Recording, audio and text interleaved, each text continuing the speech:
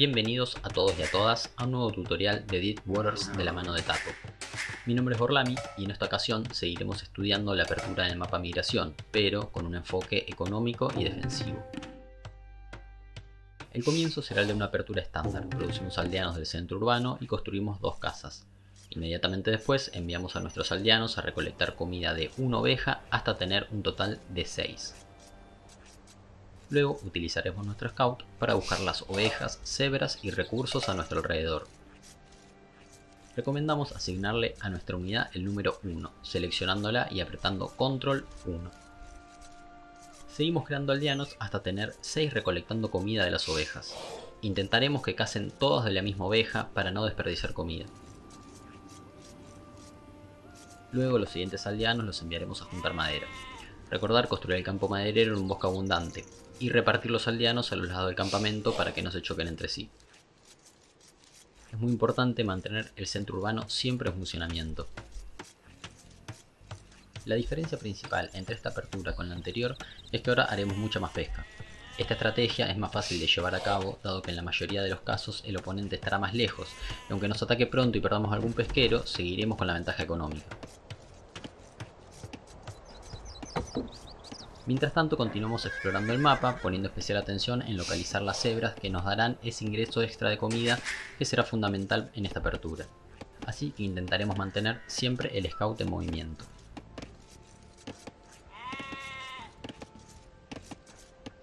Continuamos enviando aldeanos a recolectar madera hasta completar 4. El aldeano número 11 lo enviamos a construir una casa y luego un puerto. En esta apertura podemos ser más conservadores y construir el puerto en la parte de atrás de nuestro mapa para cuidar los pesqueros. Es importante para esta estrategia localizar las cebras, ya que nos darán un extra de comida que será fundamental. Si están cerca, las empezamos a traer con el scout hacia el centro urbano. Si las cebras se encuentran muy lejos o en lugares difíciles de atraer como detrás de un bosque, más tarde las cazaremos creando un molino cerca de ellas, edificio que de todas formas necesitaremos luego para poder construir el mercado y así subir la edad de los castillos. Recomendamos construir la casa cerca de la costa, de manera tal que cuando dispongamos de la madera suficiente construyamos inmediatamente un puerto. Mientras tanto continuamos acercando las cebras hacia nuestro centro urbano. Seguimos con la producción de aldeanos y los enviaremos todos a madera, como saben, con 5 madera es suficiente para mantener la producción de barcos pesqueros. Entonces, si ponemos más de 5 aldeanos en madera, iremos acumulando para construir un segundo puerto o campo maderero.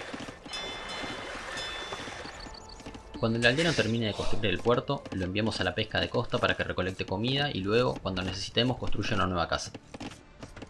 Inmediatamente ponemos a construir un barco pesquero que enviaremos a la pesca de aguas profundas, donde recolectará comida de la manera más eficiente. Construimos la casa que mencionábamos y mientras tanto seguimos acercando las cebras. Si tenemos tiempo, organizaremos nuestros aldeanos en el campo maderero para que trabajen de la forma más eficiente.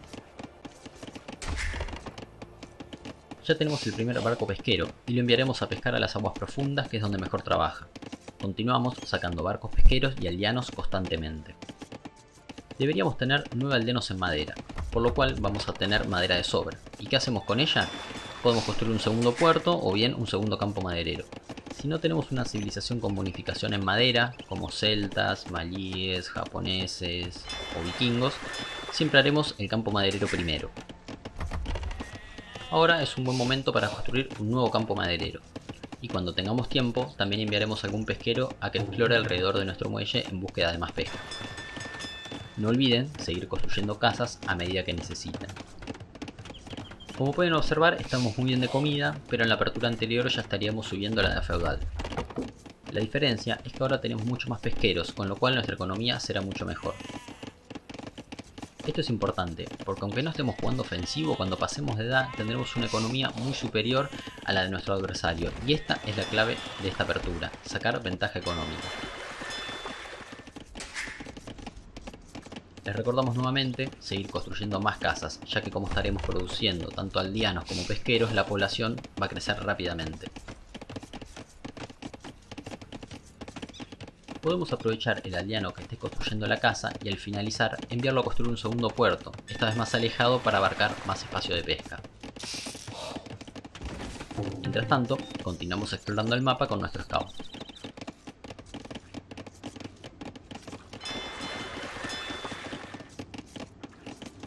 Una vez que terminamos con la última oveja, construiremos el molino en las vallas. Seguimos con la producción de aldeanos y cuando podamos pasaremos de edad. Recordar que la manera más eficiente de recoger las vallas es distribuir los aldeanos a los lados del molino para que no todos recojan del mismo lugar.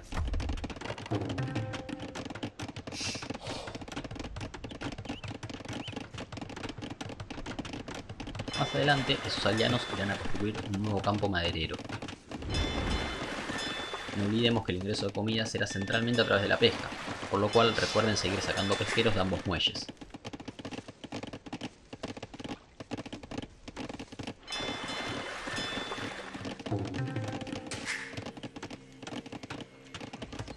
Ya es hora de pasar de edad. No olviden seguir construyendo casas y también quitar los aldeanos de las vallas y mandarlos a madera como ya mencionamos. También construiremos un campo minero para recolectar oro. Como ya sabemos, lo colocaremos dejando un espacio. De esta manera, los aldeanos no se molestarán los unos a los otros. Como pueden ver, disponemos de muchísima madera. Ahora tenemos dos opciones. O bien creamos un tercer puerto, seguimos sacando pesqueros y subimos rápido a castillos, o bien creamos un tercer puerto, pero del cual empezaremos a producir brulotes. En esta ocasión iremos por la opción más segura, que es la de crear brulotes. Incluso así subiremos a Castillo en un tiempo razonable, con buenísima economía y algo de ejército para defendernos. Mientras tanto, siempre continuar con la producción de pesqueros.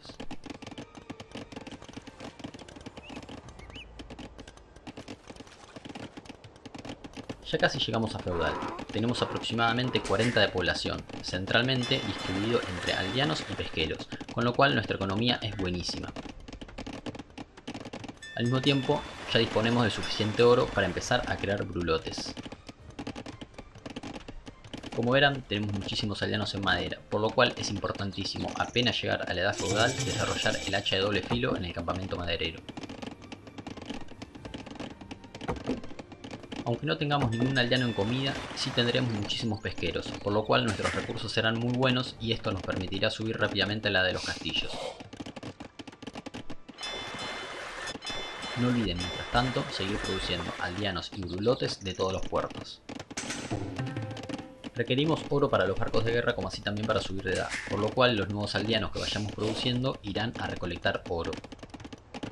Cuando tengamos la madera suficiente, sin dejar de crear brulotes, construiremos el mercado y luego la herrería.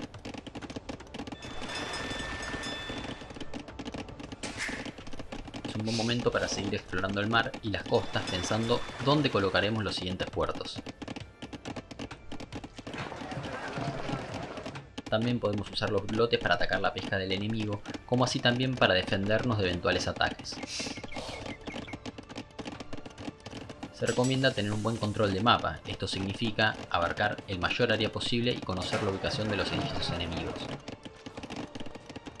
Con el excedente de madera también podríamos crear un cuarto puerto si lo necesitáramos, por ejemplo si el enemigo se decidiera a atacar fuerte en agua.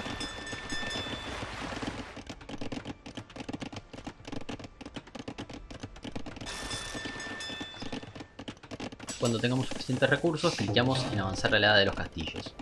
Y mientras tanto, deberemos ir pensando en emigrar a la isla central, para lo cual crearemos un barco de transporte. Mismo tiempo, es importante ir expandiéndonos por el mapa, ya que la pesca se irá acabando. También necesitamos saber qué está haciendo el enemigo, si se está enfocando en la isla central o en la creación de barcos.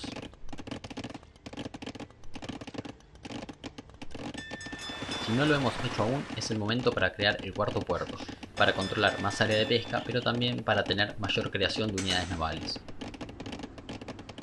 Una vez creado el barco de transporte, Seleccionamos al scout y un par de aldeanos para llevarlos a la isla central.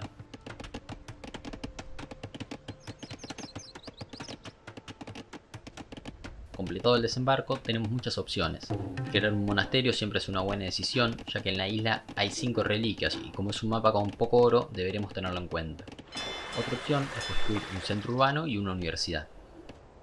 Bueno, hasta acá el tutorial. Como pueden ver, la economía y población son muy buenas, tenemos ejército y un castillo en un muy buen tiempo.